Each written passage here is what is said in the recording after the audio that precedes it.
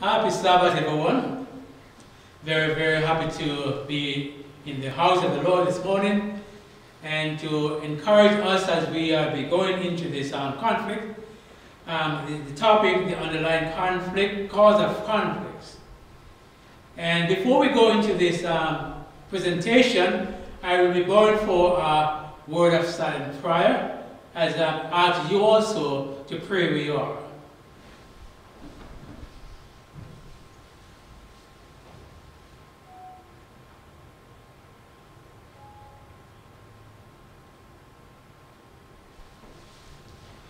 Amen. Again, we say happy Sabbath. This morning we have a very important topic here which we will be presenting at this time. It's called the underlying cause of conflicts. Conflicts, the word conflict, it appears in the spirit prophecy 2,383 times. And apparently, Jesus foreseen that conflicts would be in the world, and not only in the world, but even among his followers, even among his disciples. So in the book of Luke, chapter 12, verse 32, the Bible says, Fear not, little flock, for it is your Father's good pleasure to give you the kingdom. What is it? He said we're to fear not. Why? Because it is your Father's pleasure to give you his kingdom. And if we should take a, a review or a census on the number of conflicts that are worldwide, we will see that there are millions of conflicts that are going on around the world. We have conflict among nations, we have conflict among churches. We have conflict among individuals. We have conflict even in the home. And so therefore, this morning I would like to address, uh, to bring us to a realization as to how we can cope with conflicts. So, the question which I would like to present to, to us this morning are you standing firmly on the side of truth in this, in this crisis? So, in this crisis, we need to be standing firmly on truth. In volume 5 of his testimony, page 136, the servant of the Lord had these words to pen to say to us. And I read when the religion of Christ is most held in contempt, when his laws are most despised, then our zeal should be warmest and our courage firm, and courage and firmness the most unflinching, to stand in defense of truth and righteousness when the majority forsake us to fight in the battle of the Lord when champions are few.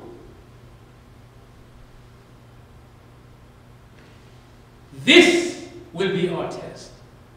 When? When champion are few, when majority has forsaken us.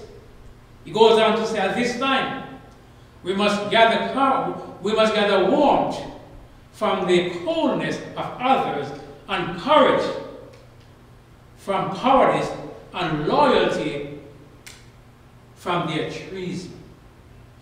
So what are we to be doing? Gather warmth from others. So we know that we are standing on the very brink of crisis, religious crisis, otherwise. And so therefore, we as God's people, we need to be totally on the Lord's side.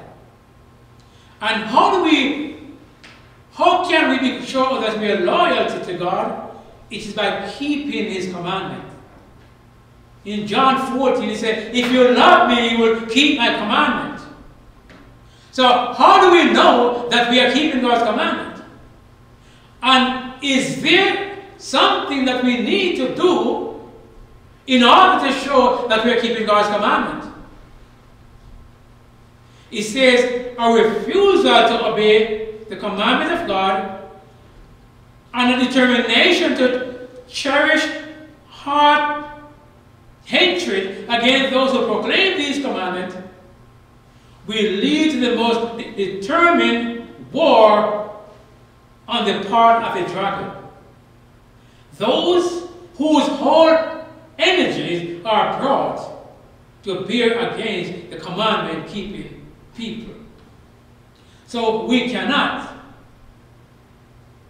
in any wise, show that we have any allegiance or any defiance against God's word, against God, especially His commandment. Why? Because in Revelation chapter 12 and verse 17, we will read Revelation 12, verse 17, the Bible says, And the dragon was wroth with a woman and went to make war with the remnant of her seed who keep the commandment of God and have the testimony of Jesus Christ.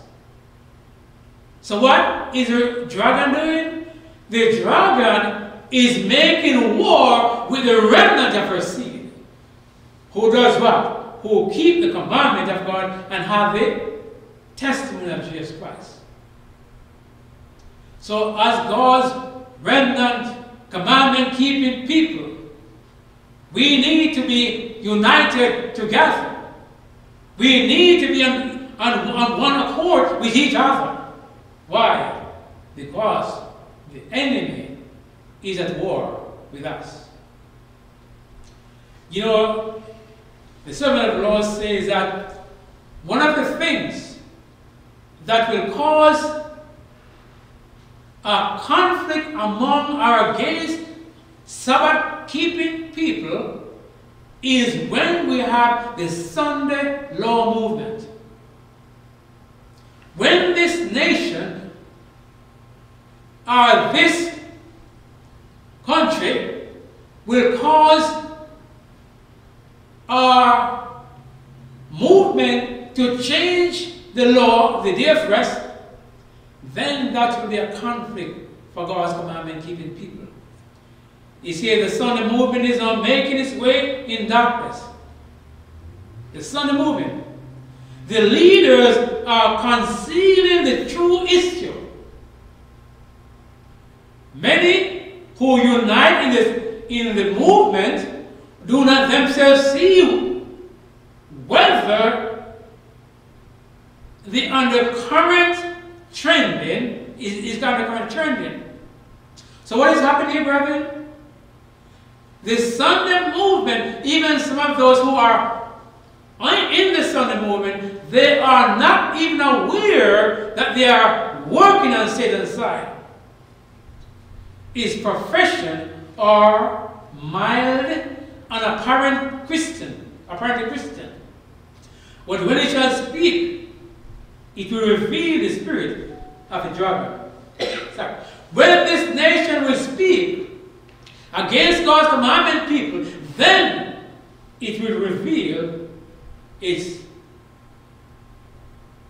purpose that it is working with the dragon, with Satan. So at this time, brethren, this is no time to compromise with truth. Now is not a time to compromise with truth. Why is it so? Why do we need to be standing firmly on the side of truth and righteousness? Review Herald, December 6, 1892, paragraph 1. The servant of the Lord says, We are pressing to the final conflict what does it say, brethren? We are pressing to the final conflict. And in this, no time to compromise. Let no one turn traitor. It is no time to lay down or conceal our weapons and give Satan an advantage in the warfare. So we cannot conceal our weapon. We cannot lay down our weapon because in doing so we are showing we are showing the enemy that we are concealing and we are being we will be will be on his side. You will not stand true to your captain. If we conceal our weapon, then we will not, we will not stand true to our captain. Call to your fellow watchman, crying, The morning cometh, and the night also. So we need to see each other as watchmen on the wall of Zion. And then we need to be calling to each other to encourage each other that the, the, the morning coming and also the night. What is night? Night is untruth. Night is error. And so therefore, we are children of the light. Another important statement here we can read from manuscript number 152. 1897, it said it is no time to, to relax our effort, to become dull and spiritless. Brethren, we cannot at this time relax our effort or, or to become dull and spiritless. No time to hide our light under a bushel, to speak smooth things to prophesy deceit. Every power is to be employed for God. How much? Every power is to be employed for God. You are to maintain your allegiance, bearing the testimony for God and for the truth. Do you agree with me? We are to what? To we are to bear the testimony and our allegiance for God. We cannot afford to compromise. There is a living issue before us a vit of vital importance to the remnant people of God unto to every and to the very close close of the earth history. For eternal interests are here involved. Brethren, we realize that the Sunday law that this corona pan, uh, can, pan, pan, pandemic is not something which is fully revealed as to what it's all about. But as we realize, we see then that the servant of the Lord said that on the very eve of the crisis, it is no time to, it is no time to be found without an evil heart or unbelief or departing from the living God, living word. So who will prevail in this crisis? Who will prevail? Here are some words from the from the from the spirit prophecy in Acts of the Apostle, page 431, paragraph 2. Say God desire his people to prepare for the soon coming crisis prepared or unprepared, they must meet it. And those only who have brought their lives in conformity to divine standard will stand firm that the time of trial is. So, brethren, what he says here? Those who will stand firmly for the time of trial will be able to prevail. And so therefore, when darkness is deepest, the light of godly character will shine brightest. So when the light, when the darkness is deepest, the light of godlike character will shine the brightest. Would you say then that we are in a time of darkness? Would you say that this prevailing crisis have here is a form of darkness? Then if it is a form of darkness, then it is time for God's people to shine more. So then the question, brethren, is are we in the last crisis? Are we in the last crisis?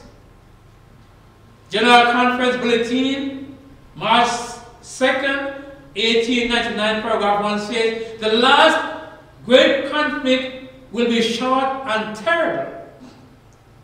Old controversies will be revived. New controversies will arise. The last warning, the last warning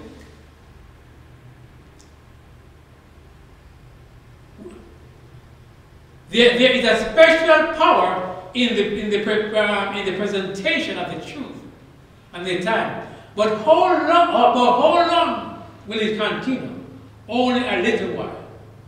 For only a little while. In, ev in every, if ever there was a crisis, it is not. Brethren, if there was ever a crisis, it is what? It is not. And we realize then that we are in this crisis, and that in the crisis is not. The Apostle John says in John 7 verse 17, Shall not God avenge his, his own elect, which cry day and night unto him, though he bear long with them? I tell you that he will avenge them speedily. Brethren, Jesus promised that, though, that he will avenge those who are, are making, those who are interfering, those who are, are put in a, a, a crisis upon his people, he will intervene. So in Luke 18 verse 7, it says, Shall not God avenge his own elect, which cry day and night unto him? Though he be long with them, I tell you, he will avenge them speedily. So even though it might delay, the servant of the Lord said, He will avenge them how? He will avenge them speedily. He will avenge them speedily. Right? now, in the in Hebrew, chapter 10, verse 35 to 37, is a, is a promise to us. Hebrew chapter 10, verse 35 to 37 is a promise to all of us. It says, Cause not therefore your confidence, which has great recompense of reward, for ye have need of patience, that after ye have been, after ye have done the will of God, ye might receive the promise. For yet a little while, he that shall come will come and will not tarry. So, don't cast away your confidence. Don't cast away your, your confidence to fear, knowing that God promises that if you hold fast your faith or your confidence in Him and be, with patience, He will fulfill His promise. So we are asked, brethren, to be patient. But can we, can we be patient in a conflict? Can we be, be patient when there is a crisis? Yes, when we can. The Apostle James says, Be patient, therefore, brethren, unto the coming of the Lord. Behold, the husbandman waited for the precious fruit of the earth. Behold what? The husbandman waited for the precious fruit of the earth. Who is this husbandman? Yes, it is Jesus. And he's not waiting for the precious fruit of the earth. And has long patience for it until you have received the early and the latter rain. Be therefore patient. Establish your heart for the coming of the Lord joy nigh. So what, brethren? We are to be patient for what? And be established, to be settled for the coming of the Lord joy nigh. So fear not. little flock. Fear not, little flock. Long does justice wait for mercy. Long does justice wait for mercy to plead for the sinners. Therefore, you and I, we have a work to do. We are to be patient, patiently going door by door, step by step, with whomever we can find to remind them or to encourage them in the crisis because it says that justice waited long for mercy. One day, justice will stand up and mercy will say no more. So we are to be reminded now in Christ's Object Lessons, page 177, paragraph 4, Christ's Object Lessons, page 177, paragraph 4 says, The long suffering of God is wonderful. Amen? Long does justice wait while mercy plead with sinners. The bridegroom, sorry, the, the brightness and the judgment are established of his throne. As in the margin. The Lord is slow to anger, but he is of great power. And will not in all acquit the wicked. The Lord has his way in the whirlwind and in the storm and in the clouds are the dust of his feet. So when we see many things are going on around us, tornadoes, the Lord sometimes have his ways in these things. So, it, it, so when we are in the time, brethren, of this waiting time, we are to remember that we are virgins. And the ten vir- there were ten virgins, as we recall in Matthew 25, 1 to 13, that five of the virgins were ten, the, the ten virgins, they all have the lamps. And they all have oil. And as time prolonged, we realized that the, the, the oil went out. And then, at midnight, there was a cry.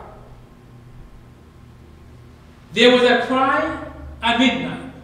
And in, and in Christ's Object Lessons, page 412, paragraph 2 says, The ten virgins are watching in the evening of, the, this earth history. All claim to be Christian. All have a call, a name, a lamp. All profess to be doing God's service. All apparently wait for, for Christ's appearing. But five are unready. Five are what? Five are unready. Are you among the unready ones? Right? Five will be found surprised. Sorry. Dismay and outside the banquet hall. Why? Five. Why five will be found outside the banquet hall? Is your lamp, is your lamp empty or is it full? Is your lamp empty or is it full? You know, in um, Psalm 105, Psalm 119 verse 105, we say, Thy word is a lamp unto my feet and a light unto my path. So is your lamp burning steadily? Christ's Object Lessons page 413, paragraph 2 said, We cannot be ready to meet the Lord by walking when the cry is heard. We cannot be ready to meet the Lord when by waking when the cry is heard. We must be awake before the cry is heard. Behold, the bridegroom coming. And then gathering up our empty lamps to have them replenished. So we cannot wait for the cry to come.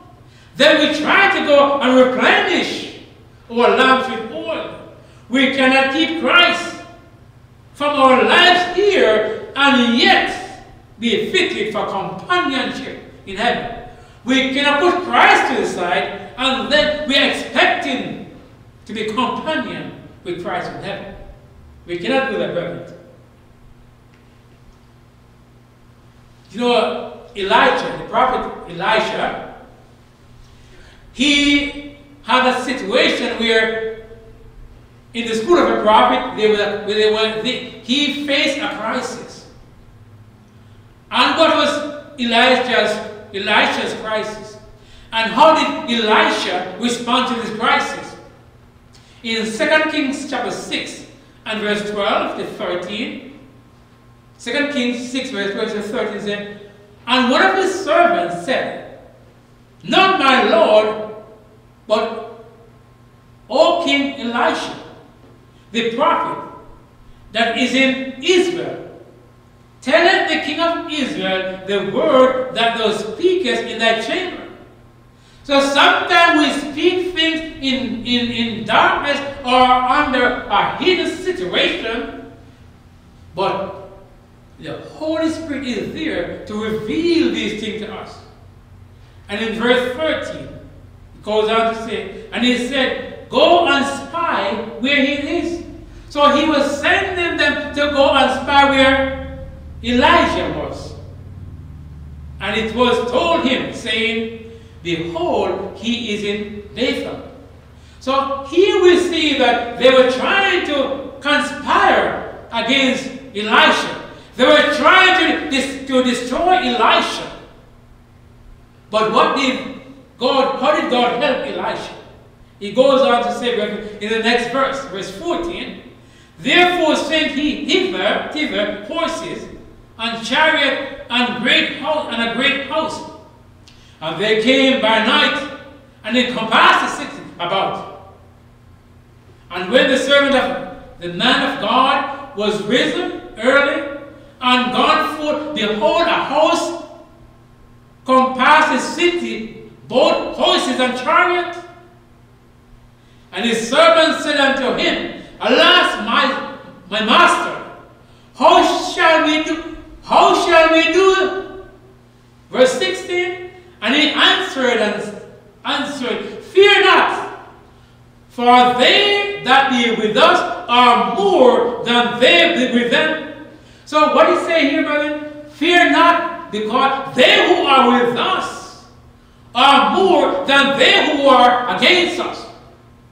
In this time, brethren, of, of this um, pandemic, in this time of this crisis of the, for the coronavirus, our God is closer and nearer to us because let's look at the continue the way that Elijah perceived that God was with him. Even though, even though Samaria was all surrounding around him, but he was con confident that the Lord was working with him. So in verse 17, and Elijah prayed, to brethren, when we have a crisis, our greatest weapon is what? Is a prayer. How often are you praying? How often did Daniel pray? Daniel prayed three times a day. So here we see, in order for Elijah, Elijah to meet the crisis, what did he do? He prayed. And Elijah prayed and said, Lord, I pray thee, open his eyes that he may see. And the Lord opened the eyes of the young man, and he saw, and behold, the mountain was full of horses and chariots and fire around about Elisha. What a beautiful scene it is. So here we are, how the Samaritan, were surrounding Elisha. And so therefore, the, the, the student of the school of a prophet, they were fearful. And Elijah, being a man of faith, Elijah, being a man of faith, what did he say? Lord, open their eyes that they may see. And in verse 18, and when they came down to him, Elijah prayed unto the Lord and smite the people. Smite these people, I pray thee, with blindness. And he smote them with blindness according to the word of Elisha. So, brethren, here Elisha prayed for, the, for his enemy to be smitten with, smitten with blindness.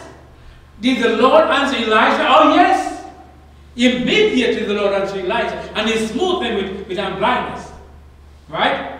Now, after they were being smitten with blindness, what did God do next? He sent them. He said, verse 19, and Elijah said unto them, This is not the way, neither is this a city. Follow me, and I will bring you to the man whom you seek. But, but, led by to Smyrna. But he led them brother, to Smyrna. To Samaria. So here, brethren, we see that even though Elijah, Elisha was, in, was encompassed by many chariots, right? And the, his fellow students become very fearful. But what did the Lord say? We, we want, Lord, put blindness upon these men, upon these people. And Elisha took them down. And in verse 20, the same chapter, and it came to pass when they came to Samaria that Elijah said, Lord, open their eyes. Open the eyes of these men that they may see. And the Lord opened their, their eyes, and they saw, and behold, they were in the midst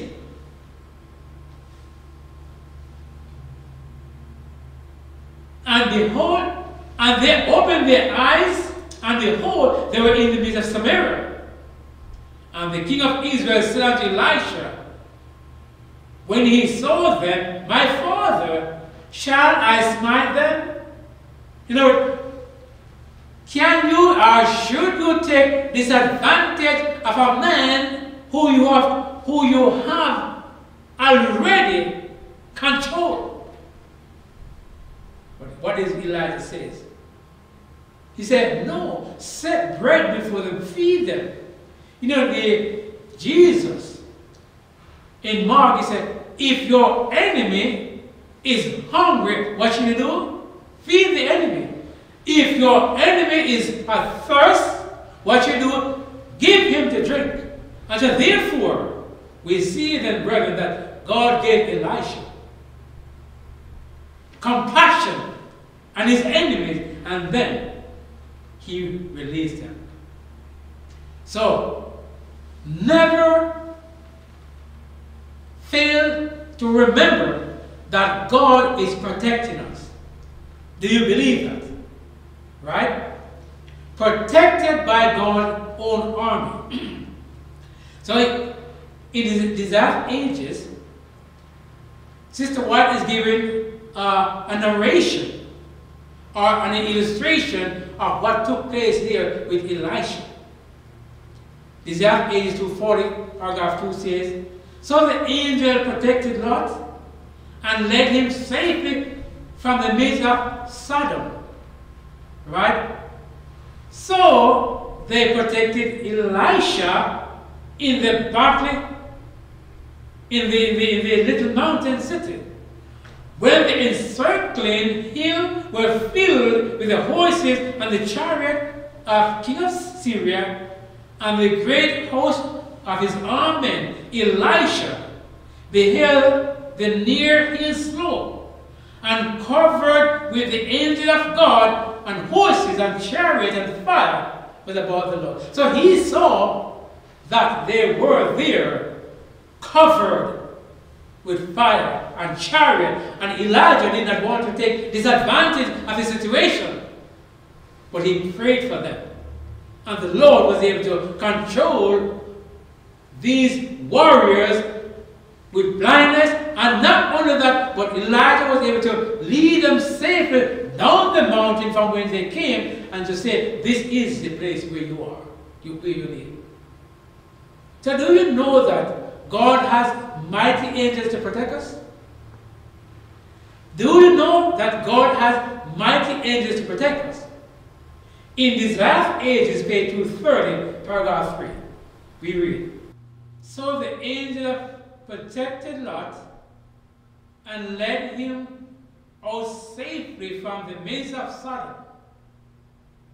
So we know the situation that was going on with Sodom and how the Lord, in His mercy, has sent out angels to encourage Lot and his, and his family to flee out of um, Sodom. And so the, the, the same miracle that Lot experienced was being experienced here by Elisha.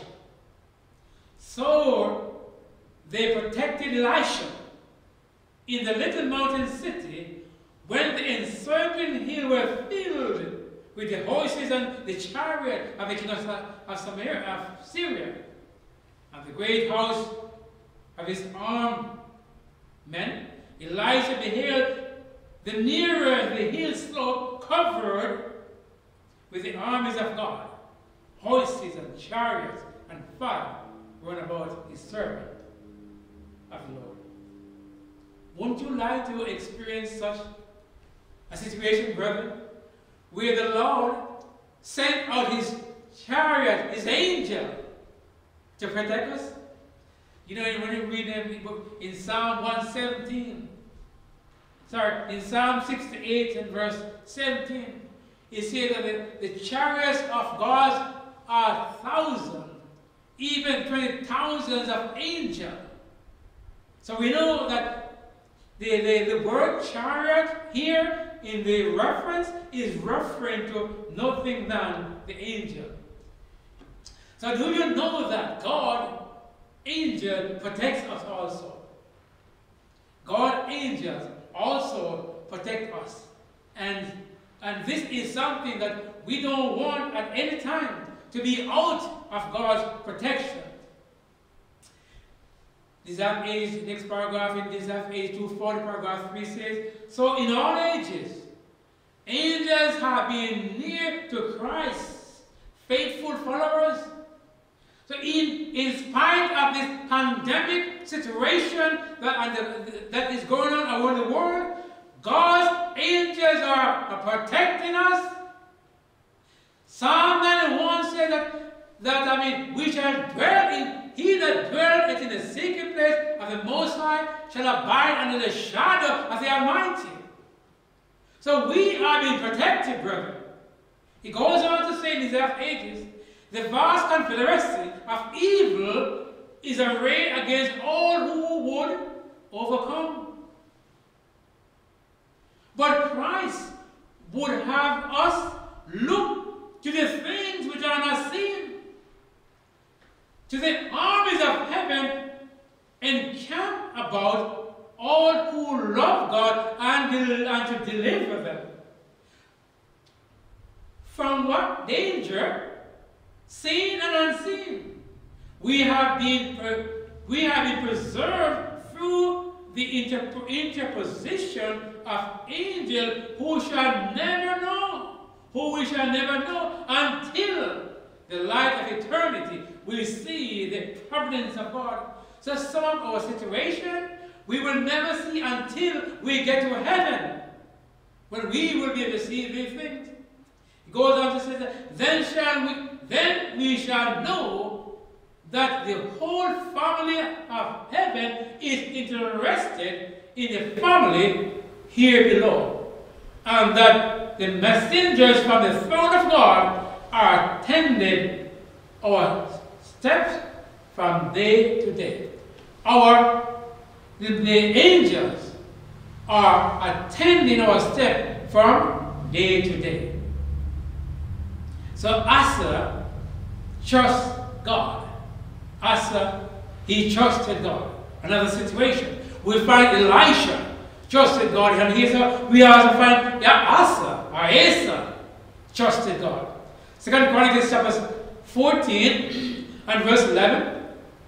Second Chronicles 14 verse 11 says, And Asa cried unto the Lord, his God, and said, Lord, it is not nothing with thee to help, whether with many or with them them that have no power. Help us, O God, for we rest on thee. And in thy name we go against this multitude. In thy name we will go against this coronavirus. O Lord, thou art our God, let no man prevail against thee.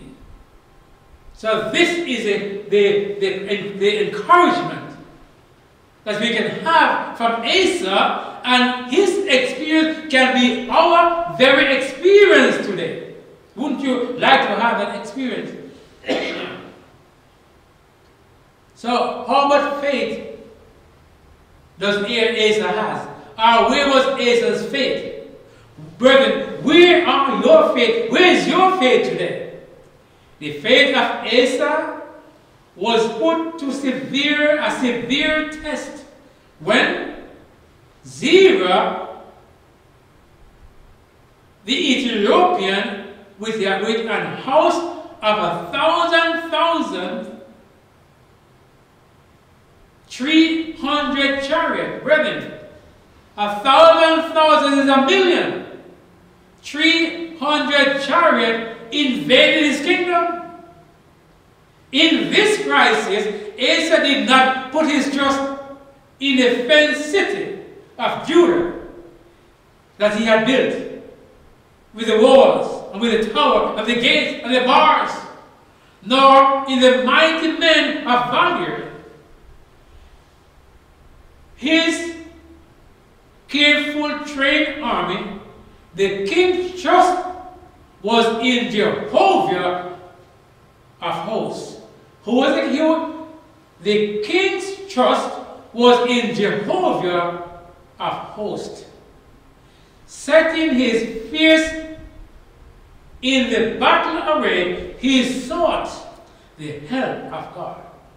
So, in every crisis, we must see God as our very help. In every crisis, we see throughout the Bible that those who were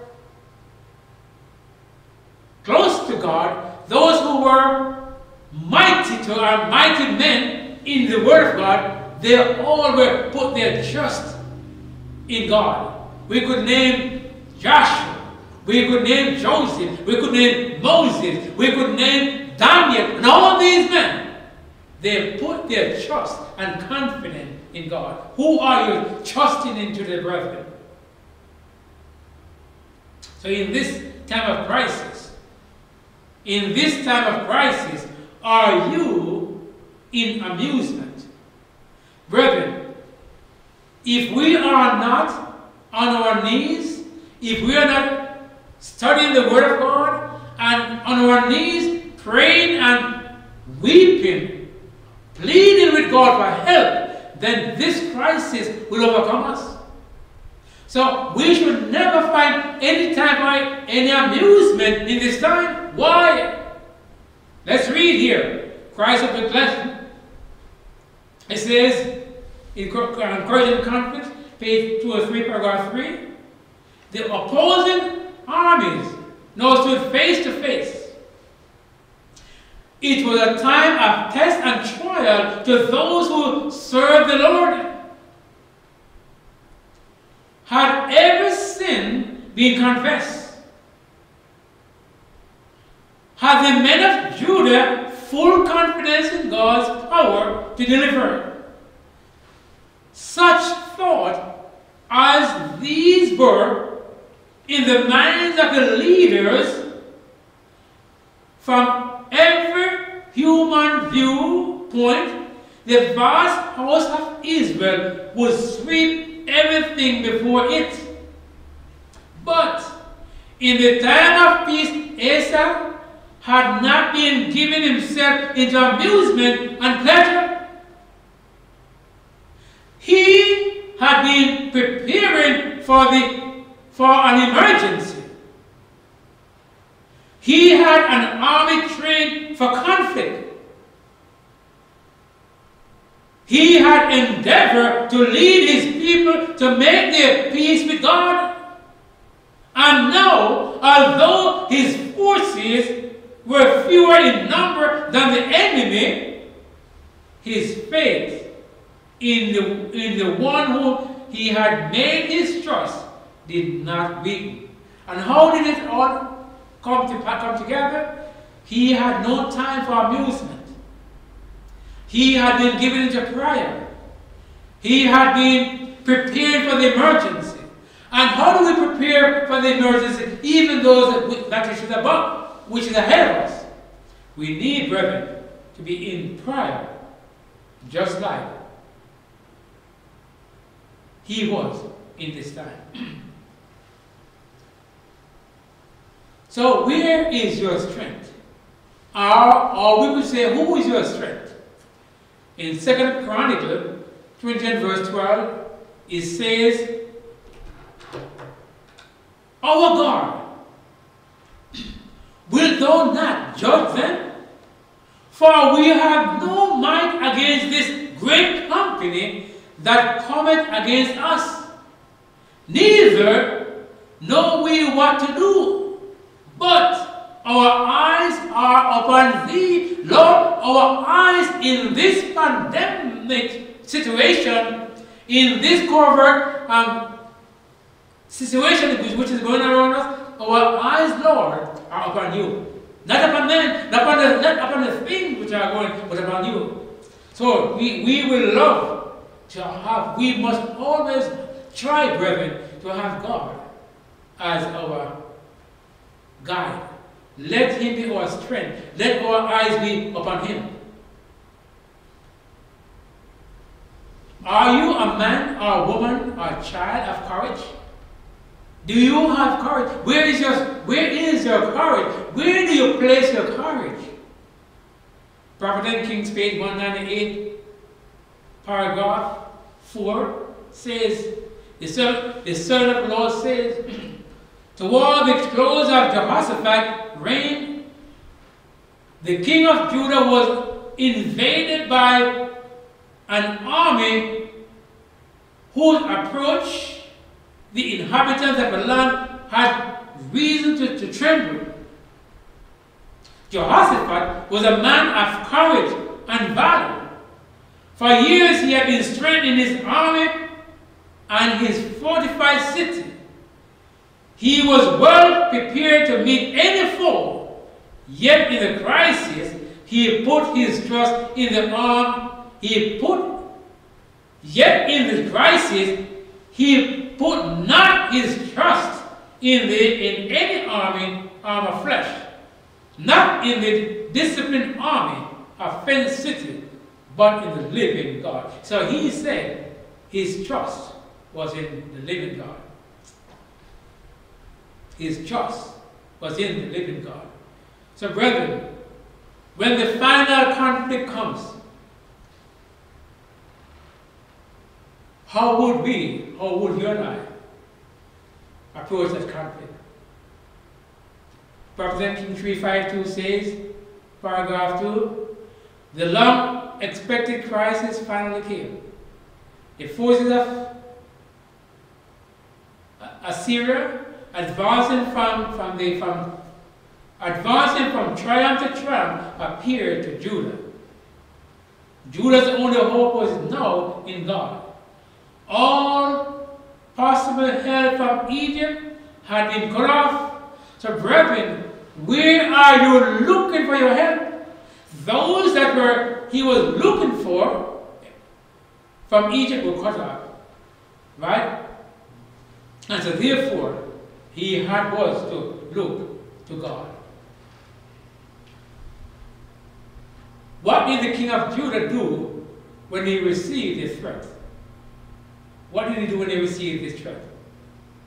When the king of Judah received the, the, the taunting letter, he took it into the temple and spread it before the Lord. So when we see situation that comes uh, toward to us, where are we putting our trust? How do we approach God? How are we approaching the Lord in our time when we are helpless? That's what I'm the king of Judah did. It goes on to say, brethren, again I read, when the king of Judah received the taunting letter, he took it into the temple and spread it before the Lord and prayed with strong faith for help from, from heaven, that the nation of earth might not, that the, that the nation of earth might know that God is of the Hebrews, still live and reign. Honor, the honor of Jehovah was at stake. He alone could bring deliverance. So, brethren, when our when our situation become endangered, become compromised, then we need to look to God for help.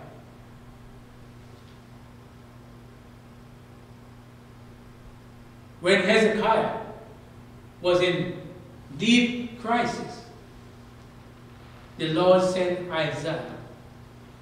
When you and I are in deep crisis, the Lord will send angels to us to aid us and assist us.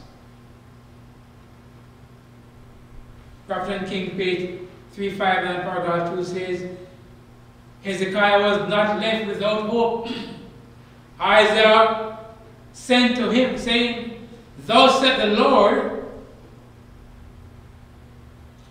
Thus said the Lord God of Israel, that which thou hast prayed this night against um, Sennacherib, king of, um, of Assyria, I have heard that the very night deliverance came. The angel of the Lord went out and smote in the camp of the Assyrian an hundred fourscore and five thousand. So when Hezekiah was praying, he sent the angel of the Lord sent hope to Hezekiah from his throne through Isaiah to the king. And it says that over the angel of the Lord went out and smote the camp of, uh, of the Assyrian and hundred, fourscore and five thousand. So in, when we are in a crisis, brethren, the Lord will stand for us. He will stand for us. So what about our, our time now, brethren? what about this time when you and I are living in this final crisis? So here we have seen how the Lord had helped ancient Israel. But what about you and I at this time? In Revelation 12 and verse 17, it says, And the dragon was wrought with a woman, and went to make war with the remnant of her seed who keep the commandment of God and have the faith of Jesus Christ. So you and I, brethren, will feel the irony of the dragon. And how should we approach our crisis in our time? Volume 8 of the testimony, page 117, says, Our refusal to obey the commandment of God and a determination to church hatred against those who proclaim these commandments lead to the most determined war on the part of the dragon, whose whole energies are brought to bear against the commandment keeping people of God. So, brethren, if when we our refusal to obey the commandment of God, we are cherishing hatred against the commandment of God and we are endorsing are lifting up the devil. And he said it leads to the most determined war on the part of the dragon. So you and I, brethren, we cannot in any way have any association with those who are have an evil heart against of God. And when we, as we are coming to the close here, brethren, we realize that the angel of the Lord those who were being slain in the dark ages, the angel of the Lord marked, uh, the, the Holy Spirit have marked or penned this word in this, in this fashion. Revelation 6 and verse 11. And white robes were given to every one of them, and it was said unto them that they should rest, yet for a little season, until their fellow servant also and their brethren, that they should be killed as they were, should be fulfilled. What it says here? The white robes were given to every one of them as it was unto, as it was said unto them, that they should rest yet for a little season until their fellow servant and their brethren that they should be killed as they, as they were should be fulfilled. So you and I, brethren, in this crisis, the crisis ahead of us, we will be killed. But we are not to become fearful because he said that those who have been killed were given white robes. Are you waiting or are you praying asking the Lord to close you with this white robe? And what is this white robe? What is this white robe? It is nothing than the righteousness of Christ. Let's read here, brethren. He said, Who will wear the white robe? Who will the white robe be given to? Uh, Great Controversy page 665, paragraph 2. says, Their warfare is ended, their victory won. They have run the race and reached the prize. Have you and I, have we run the race? Have we received the prize? Not yet. He said, the palm branches in their hands is a symbol of their triumph. The white robe is an emblem of their spotless righteousness of Christ, which now is there. Again, let's read it. They have run the race, reached the prize.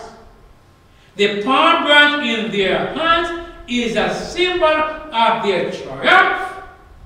The white robe is an emblem of their spotless righteousness, of the spotless righteousness of Christ, which now is theirs. So they have received it, but you and I, brethren, we are still, uh, we are still awaiting for the white robe which Christ will give us. So in Revelation chapter 13, Revelation 13, we see that there are two beasts. The first beast was the one who came up from the water, and the second beast was the one who came up from the earth. So in Revelation 13, we, we're going to read here about the second beast. And this second beast will put God's people in a crisis. But how will you not manage, or how will, will you not be able to go through the crisis? Will we go through triumphantly with Christ leading us? Or we are, or are we going to try to do it by ourselves? He says in Revelation 20, verse 14, And he deceived them that dwell on the earth by the means of those miracles which he has power to do in the sight of the beast, saying to them that dwell on the earth that they should make an image to the beast which had the wound by his sword and, and did live. And he had power to give life unto the image of the beast, that the image of the beast should both speak and cause that as, as many as who would not worship the image of the beast should be killed. That you and I, brethren. Or as many as who refuse the image of the beast, what we should be? We should be killed. And those who were in the dark ages, and because they have refused their allegiance to the papacy, they're being killed. Over 600 million people were being killed in the dark ages. Who we have just read about in, Re in Revelation, Revelation chapter 6. So here, in our time, this is what will happen to us. You are perfect. And what situation will those who honor God, God's law have to face in the near future? Let's read in, in, uh, in, in Mark 13. What are some of the things we're going to see there as we as we go through this?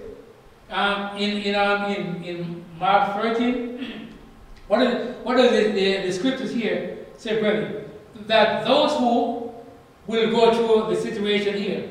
So in Mark chapter 13 and verse 9, Mark 13 and verse 9, he says, But take heed unto yourself, but take heed unto yourselves, for they which for they shall deliver you up to the council and in the synagogue, and he shall be beaten, and he shall be brought before the rulers of the kings of the of the kings for, for, this, for, for my sake, for the testimony against them. So what it say here?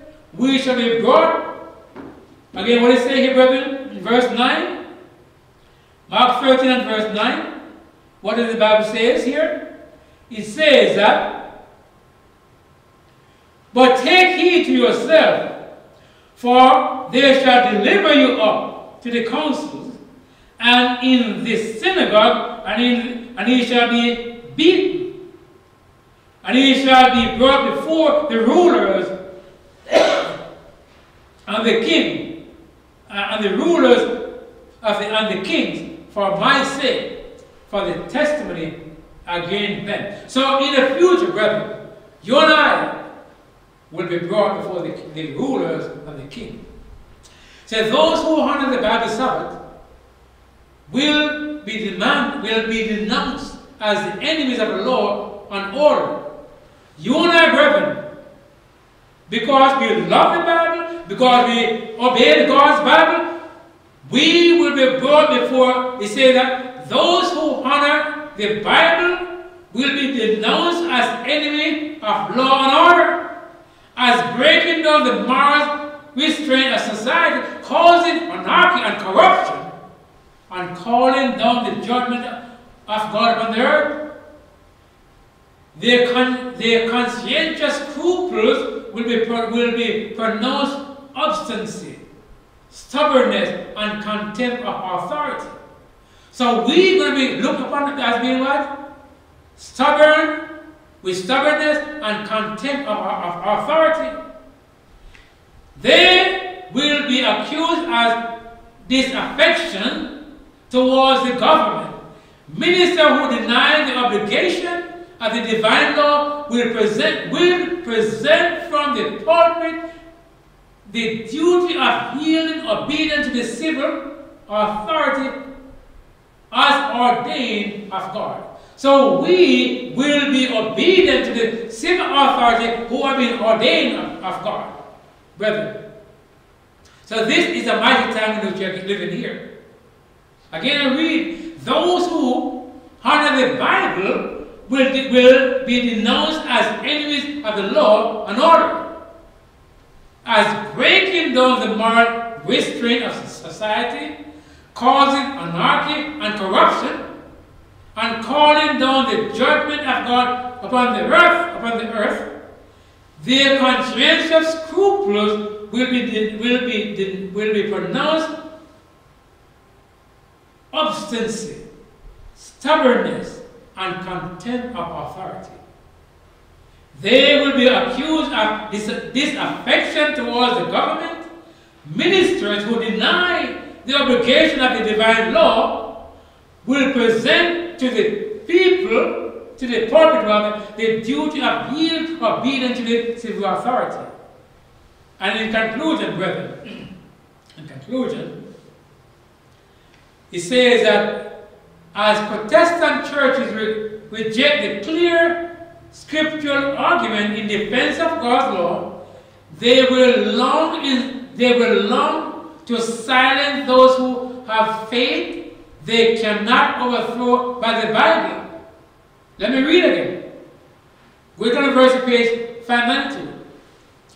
As the Protestant churches reject the clear scriptural argument in defense of God's law, they will long to silence those who are, whose faith they cannot overthrow by, by the Bible.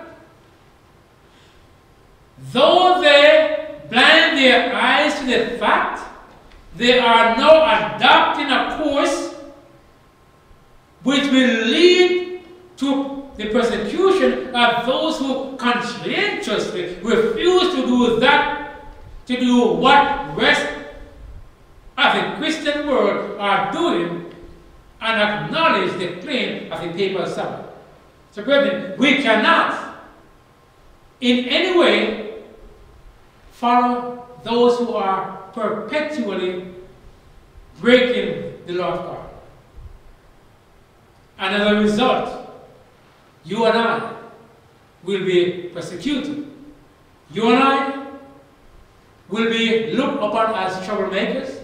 Why? Because we, we, we, are, we, we are refusing. We refuse to, to put away the thus said the Lord, to put, away, to put away the Bible and to follow thus said the man. We cannot do this in this crisis present. So, as we conclude then, the question is, are you ready to die for the truth? Are you ready for Jesus to come? Are you ready to die for the truth? Are you ready to stand on the platform of truth? Are you ready when the crisis comes that you will say, I would rather obey God than man? I would rather to die for the truth than to yield one inch to something which will go against God's law. May the Lord help us that as we go through this crisis, we will take the, the, the situation there that we had, which we saw with Asa. We will take the courage that we saw with Elisha. Elisha saw all these chariots on the mountain. And as his servant saw the, the, the chariot and they were afraid, what did they do? They, what they did they do? They went and Elijah said, let's pray. And Elijah told the Lord, open their eyes that they may see. And when the eyes of these people, these men were opened, what did they see? They see the whole mountain was covered by the, by the army of God. You and I, when we come to the crisis in our time, we need to say, Lord, open our eyes that we may see that there are just work.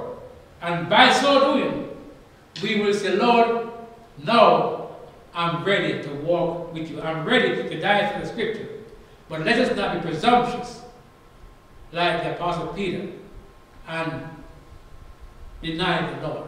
But let us say, I can do all things through Christ who strengthens us. I would like to read this um, final thought here. He says um, 2, 2, Timothy, 2 Timothy 3 verse 12, And all that will live godly in Christ shall suffer persecution. May the Lord help us.